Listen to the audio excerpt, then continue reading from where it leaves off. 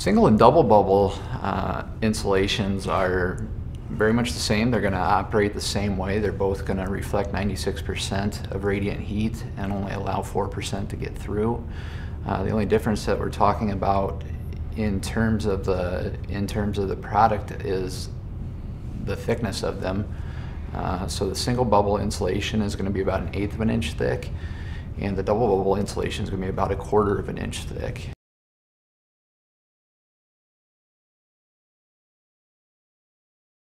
Yeah, so what's fun with single bubble and double bubble versus our radiant barrier product, because it goes that extra thickness, it's providing a thermal break. So that's the one big um, step up, is that if you can imagine we've got an exposed application like the inside of a pole barn, commercial space, and we don't want to have condensation issues. So basically what we're doing is we're separating those two spaces, that hot and cold, uh, on that radiant barrier to five mil product, so it's you know very very thin. So if it's got cold contact on one side and you got warm on the other, you're going to get condensation to occur on that one side. So with a single bubble, we're just at eighth inch, we're just providing an air chamber, so it's just getting a thermal break. So now we're not going to have that hot and cold touching, and it's going to eliminate that condensation issue. So the single bubble, eighth inch, we'll use kind of south. Uh, we use the Mason-Dixon line as the border. And then double bubble, it's just a bigger chamber. So instead of being eighth inch, now we're to quarter inch. We're just providing a bigger thermal break, and those are for cold climates. Hmm. yeah, so when we're talking about the, the thickness and that thermal break, so you know, here's our standard radiant barrier product, and again, that's just a five mil. So you can see how that condensation would just occur when it's touching.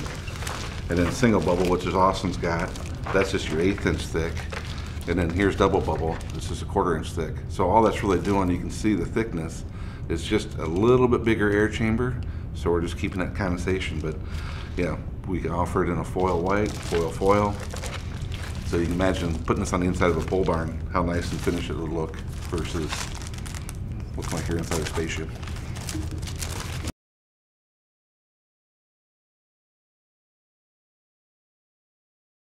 You can use single or double bubble in numerous places throughout your building or structure, home.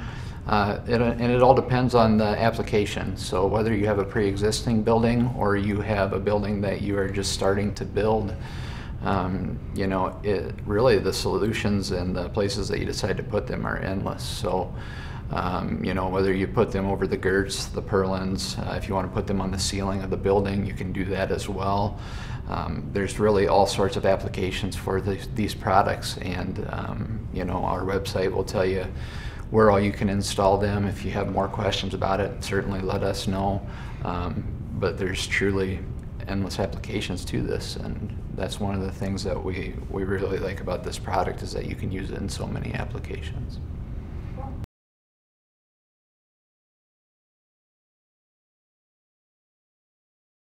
And no, it's just amazing because we see these products being used more and more in all sorts of different, you know, you go to your local grocery store and they got these freezer bags that you can put your frozen goods to if you're hauling them any distance. But if you look at it, it's just looks like aluminum foil. It's the same thing. We're keeping heat from actually penetrating the bag. As you get into some high um, high-tech clothing manufacturers that are used for uh, snowmobiling or skiing, you open up a coat, you're going to see a silver surface on the inside. So all the clothing companies now are starting to understand that how this will keep your body heat inside and not lose it. If you have any other questions about any of our products or anything else we talked about today, please do not hesitate to give us a call at 888 DIY Foil or send us an email at customer service at ecofoil.com.